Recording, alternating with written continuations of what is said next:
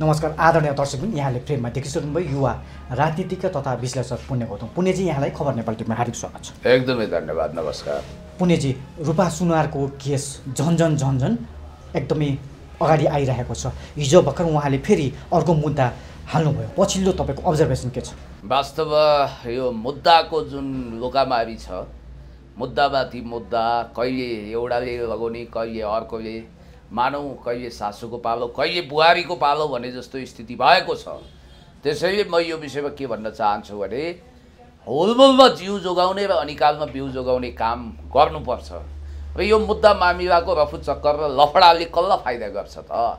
जस्तो कि जातीय विभेद भयो भन्ने आधारमा फेरि उहाँले थप मुद्दा दायर गर्नुभयो अस्ति मुद्दा हालेर थुनाउनु भयो यसको मतलब कतिपयले लेख्नु भएको अथवा कमेन्ट गर्नुभएको रहेछ। मैले हेरेँ कि पुण्य गौतम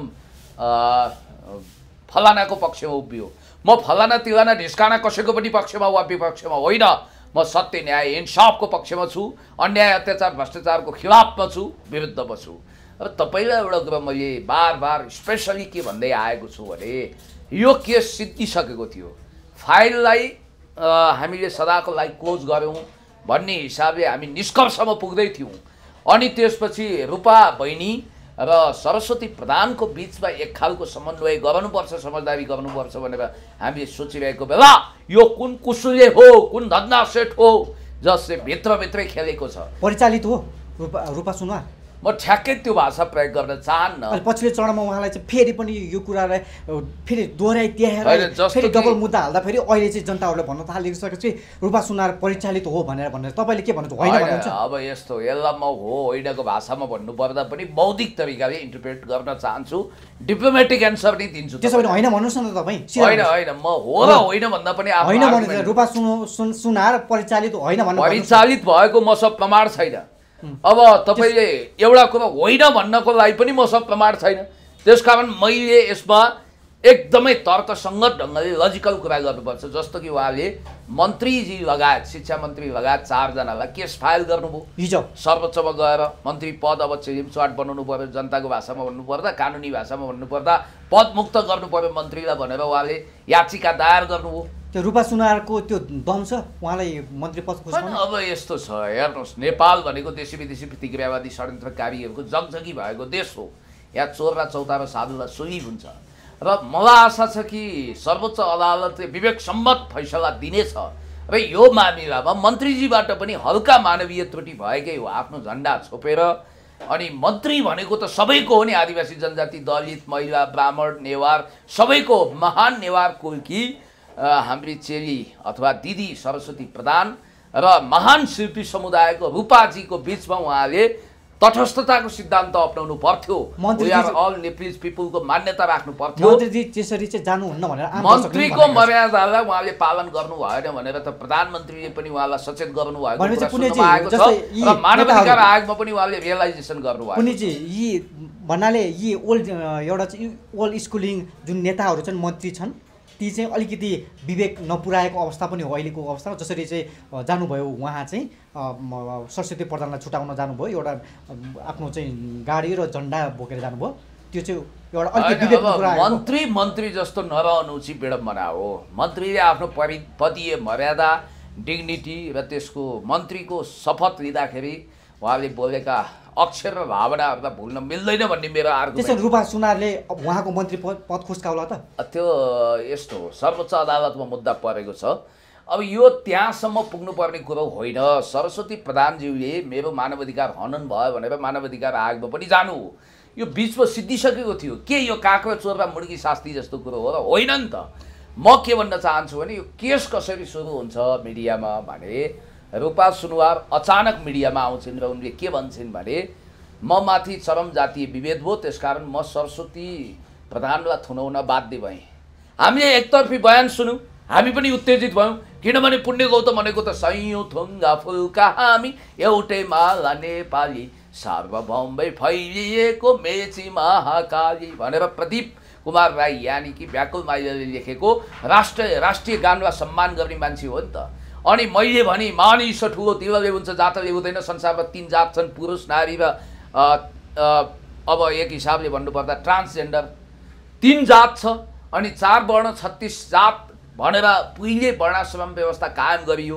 तर बाहुन छेत्री वैश्य शूद्रको आफ्नो डेफिनेसन पनि होला। तर कुनै पनि मान्छे जन्मको आधारमा ठुलो वा सानो हुँदैन। अहिले छत्तिस जात भनिए पनि आदिवासी जनजाति महासङ्घले एक सय तिसभन्दा बढी जातलाई सूचीकृत गरिसकेको छ। मैले भन्न खोजेको कुरा के हो भने यो जातीय भाषिक आदि इत्यादिको आधारमा समाजमा विभेद गर्न खोज्ने समाजमा वितण्ड मचाउने यो कुरोले त भोलि समाजमा गृहयुद्ध हुन सक्छ।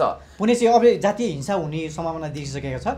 अब पोखरातिर पनि यो भनौँ न नाराबाजी भइसकेको छ। भनेपछि भोलि यो देशमा चाहिँ जातीय हिंसा भयो भने यसको जिम्मेवार कसले लिनुपर्छ? म आशा भरोसा विश्वास गर्छु नेपाल जस्तो देश रिलिजियस र इथिनिक टलरेन्सीमा आधारित छ।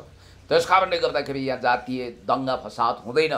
यहाँ धार्मिक अतिवादी लडाइँ हुँदैन भनेर मैले आशा भरोसा विश्वास गर्छु। तर सिएमएलपी हन्टिङटनको एउटा सूत्र छ सभ्यताहरूको द्वन्द्व the clash of civilization and remaking of old order तपाईँले पढ्नु भएको छ। त्यो घोकेका मानिसहरूले नेपालमा जातीय वर्गीय लैङ्गिक आदि इत्यादि हिंसा मचाउन चाहन्छन्। धार्मिक अतिवाद मचाउन चाहन्छन्। हिंसा मचाउन चाहन्छन्। त्यस कारणले द्वन्द्वको अर्को परेड ग्राउन्ड यानि कि नब्बेको दशकको रुवान्डामा यो देशलाई फेर्न चाहन्छन्। गिनी पिक बनाउन चाहन्छन्। यस्तो नहोस् म चाहन्छु।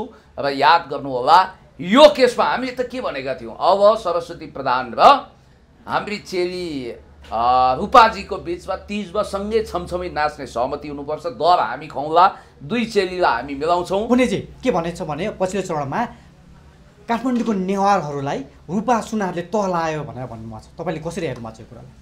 महान शिल्पी समुदाय दलित भनिने शिल्पी समुदाय भर्सेस नेवार समुदायको बिचमा भिडाएर लडाइँ गराएर फाइदा लुट्ने भाइ फुटे गवार लुटेको स्थिति बनाउने यो जातीय दङ्गामा चाहिँ जहिले पनि तेस्रो पक्षले फाइदा लिन्छ। धमिलो पानीमा माछा मार्नेहरू खुब हुन्छन्। यो कुरा रूपा सुनारले नबुझ्या हो? होइन यस्तो हो, उहाँलाई पब्लिसिटी चाहिन्छ भने उहाँलाई प्रचार चाहिन्छ भने ग्रामरको लागि यदि त्यसो गरेको हो भने एउटा फर्मुला फालिदियो जातीयताको फर्मुला फालिदियो। एउटा तपाईँले यो। भन्दा हुनुहुन्छ? म त्यसो भनिरहेको छैन। भनेपछि रूपा सुनारलाई राम्रो गर्यो। होइन राम्रो नराम्रो भन्ने जजमेन्ट गर्ने होइन होइन राम्रो नराम्रो भनेर मैले फैसला दिने न्यायाधीश होइन म। तपाईँलाई एउटा कुरा भन्न चाहन्छु। मेरो आशय तपाईँले बुझ्ने हो कि? मेरो मुखबाट सबै कुरा नबकाउनुहोस्। र म तपाईँलाई के भन्छु भने जस्तो यो घटना हेर्नुहोस्। पहिला तपाईँले कथा नै पक्ष पक्नु चाहिँ मैले बकाउने होइन नि त त्यो त तपाईँले चाहिँ एउटा फ्याक्ट्समा गएर यसले सल्युसन दिन पऱ्यो पुण्यजी हामी चाहिँ। हामी चाहिँ फिक्सनमा गएर चाहिँ एउटा यो विषयलाई। लगाएर चाहिँ फिक्सनलाई हावालाई छोडिदिने त्यसपछि यसले चाहिँ कस्तो इम्प्याक्ट पार्छ भन्ने कुरा।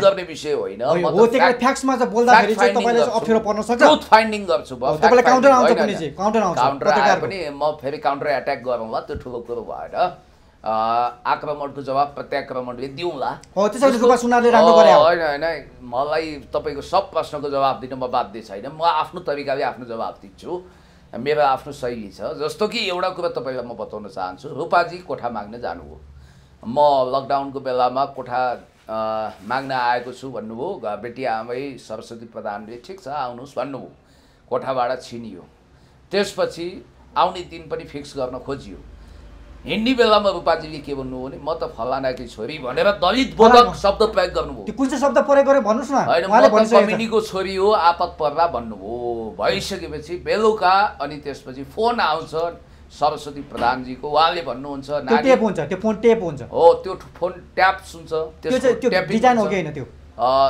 टेप गर्नु त डिजाइन नै हो। अनि त्यसपछि उहाँले के भन्नुहुन्छ भने सरी मैले कोठा दिन नसक्ने भएँ भाडा दिन नसक्ने कोठा भाडामा लगाउन नसक्ने भएँ। अब त्यसको पछाडि उहाँले मेरो पारिवारिक कारणले त्यो कोठा हामीले उपयोग गर्नुपर्ने हो भन्न खोज्नु भएको थियो कि अथवा अहिलेको परिस्थिति त्यसो भने अलिकति दिनु न। त्यसो रूपा सुनार यो भन्दै हुनुहुन्छ कि घर सल्लाह एउटा घरबेटीले घर सल्लाह हुन्छ नि उहाँको अँ। होला। घर सल्लाह गर्न पाउँदैन भन्ने उहाँको कुरा हो। म यसमा आउँदैछु। अब त्यो होला घर सल्लाहले उहाँले दिन्छु भनिहाल्नुभयो तर घर सल्लाहले अहिले कोठा नदिउँ न त भनेको हुनसक्छ। दोस्रो रोग व्याधिको समय छ। अहिले तत्काल किन सर्ने? फेरि त्यो कोठाबाट अर्को जहाँ रूपाजीले कोठा सर्न खोज्दै हुनुहुन्छ त्यो घरबेटीलाई के भन्नु सोसाइटीले भन्ने कुरा होला? अथवा के होला? तपाईँको घरको कोठा दिने कि नदिने तपाईँको अधिकार? यदि त्यहाँ सरस्वती प्रधानले होइन अब म जातीय कारणले दिन्न भनेको भए त उहाँ त दुई तिन वर्ष जेल पर्नु हुने रहेछ। तर उहाँले के भन्न खोज्नु हो उहाँको आशयको मनोवैज्ञानिक व्याख्या यहाँ भयो। उहाँको आशय यस्तो छ भनेर उहाँको मनको एक्सरे निकाल्ने मनोवैज्ञानिक डक्टर को हो त त्यो? त्यो आधारमा शङ्काको आधारमा उहाँलाई तिन दिन थुनियो। जबकि उहाँले जातीय विभेद झल्किने गरी अभिव्यक्ति दिएको हामी अन्ततिर थाहा छैन। अन्ततिर छौँ। अब काठमाडौँको रैथाने नेवारलाई उहाँले तिन दिन थुनाइदिनु भयो भनेपछि अब रूपा सुनार जहाँ जान्छ त्यो घरमा कोठा दिन पर्छ?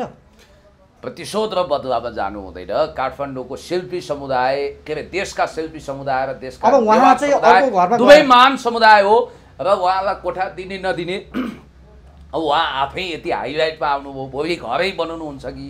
अथवा पैसा कमाउनुहुन्छ कि हामी के भन्न सक्छौँ र सधैँ कुनै कोठामा चाहिँ यसको साइड इफेक्ट छ हेर्नुहोस् है साइड इफेक्ट छ। भोलि गएर चाहिँ रूपा सुनार कुनै घरमा जानुभयो उहाँले फेरि कोठा माग्नुभयो। कोठा माग्दा फेरि दिएन भने अब फेरि अर्को साइड इफेक्ट छ। किन ए म त फेरि यो दलित भएका कारणले मलाई कोठा दिएन भनेर फेरि अर्को थुनाउने सम्भावना पनि देखियो। हेर्नुहोस् है साइड इफेक्ट। भनेपछि- अनेक होला। अर्को कुरो महान शिल्पी समुदायले उहाँलाई आफ्नो घरमा स्वागत गर्लान्। ठुलो दिल भएका ब्राह्मण क्षेत्री नेवारहरूले पनि उहाँलाई स्वागत गर्न सक्लान्। दिएन भने होइन दिएन भने त अब के नेपालमा कोही पनि कसैको घरमा डेरा पाइएन भन्दैमा रोँदै कराउँदै हिँड्नुपर्ने अवस्था त देखियो नि। होइन ठिक छ यसलाई पनि धेरै ठुलो विषयवस्तु नबनौँ अन्तिममा कन्क्लुजनमा हामी कहाँ पुगौँ भने यो केस धेरै उछालियो। It's too much it's over अब के गर्न खोजेको नेपालमा? म भन्छु म रूपा बहिनी र सरस्वती दिदीको बिचमा समन्वय गर्न चाहन्छु। सेतुको काम गर्न चाहन्छु पुलको काम गर्न चाहन्छु। र यो केसलाई के बाँदर घाउ जस्तो उकुच पल्टाउने लडाउने नेपाली नेपाली भिडाउने जाति धर्म भाषा भेष लिङ्गको बिचमा काट्न छिनो गराउने देशको समृद्धि र विकासलाई बाधा हाल्न खोज्ने याद गर्नुहोला। काठमाडौँका अथवा देशका महान नेवार समुदाय भर्सेस महान शिल्पी समुदायको बिचमा लडाइँ हुँदैन। महान महान शिल्पी समुदायका व्यक्तिहरूले पनि यो विषयमा बोलिरहनु भएको छ। र अर्को कुरो तपाईँकै भिडियोमा हेरेको थिएँ कि रूपाजीले अब त्यहाँ हेर्नु समुदायमा आफैभित्र विभेद छ। महान शिल्पी समुदायमा पनि अब कपडा सिलाउने दर्जी समुदायको मानिससँग फलाम पिट्ने कामी समुदायको मान्छे विश्वकर्मा समुदायको मान्छेले सरी कामी भने मैले काम राम्रो गर्नेलाई कामी भन्ने हो। त्यहाँ विवाहबारी चल्दैन। र रूपाजीले पनि अस्वीकार गरेको कुरो एकजना नेवारजीले इन्टरभ्यू दिँदा तपाईँको टेलिभिजनमा भन्नुभएको थियो। त्यस कारणले गर्दाखेरि हाम्रो लागि सबै समान वी आर ने अल नेप्लिज पिपुल मैले त भनेको छु पुण्य गौतम होइन पुण्य नेपाली लेखियोस्। तपाईँ नेपाली म नेपाली हर कोही नेपाली सबै नेपालीको नामको पछाडि थर एसबी नेपाली पुण्य नेपाली फलाना तिलाना ढिस्काना सबै नेपाली भन्दा कसो होला? यो एउटा प्रगतिशील प्रस्ताव पनि मैले राखेको छु। जातीय विभेद हाम्रो समाजमा वर्जित अपराध हो। संसदले दुई हजार सतसट्ठी सालमा घोषणा गरिदिइसकेको छ कि नेपालमा अब जातीय छुवाछुत मुक्त माहौल बनिसकेको छ खबरदार बनिसकेको छ र मुलुकी ऐन दुई हजार बिसले वर्जित गरेको छ महाकवि लक्ष्मीप्रसाद देवकोटाले उहिले मानिस ठुलो दिलले हुन्छ जातले हुँदैन भनेर लेख्नु भएको छ। त्यो महान भावना प्रकट भएको छ। नयाँ पुस्ताको दिमागमा जाति छैन हामी ग्लोबल ह्युमन हुनुपर्छ। हामी अमेरिकन र चाइनिज नागरिकसँग प्रतिस्पर्धामा उभिनुपर्छ भन्ने मान्छेहरू फेरि आदिम चेतनामा फर्किन सक्दैनौँ। हामी चिम्पान्जी चेतना लिएर हिँड्न सक्दैनौँ। हामी मान्छे हौ हामी उत्कृष्ट चेतना र विचारसहितका उत्कृष्ट जीवहरू हौँ भन्ने साबित गर्नु छ। फेरि ढुङ्गे युगमा फर्किने अनुमति कसैलाई पनि छैन। जाति धर्म भाषाको आधारमा नेपाली नेपालीलाई लडाउने पश्चिमाहरूको र इन्डियनहरूको षड्यन्त्रलाई हामी चकनाचुर पार्छौँ। र एक दिन हेर्नुहोला यो केसलाई अदालतले पनि बुद्धिमत्तापूर्ण तरिकाले फैसला सुनाइदिनेछ र छिट्टै प्याचअप होस्। क कसको बिचमा? भन्दा सरस्वती प्रधान र रूपा बहिनीको बिचमा।